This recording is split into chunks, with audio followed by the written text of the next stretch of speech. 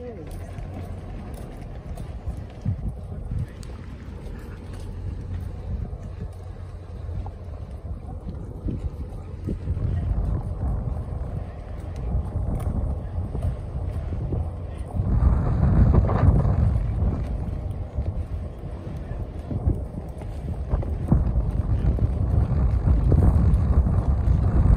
interesting that they have a British flag flying.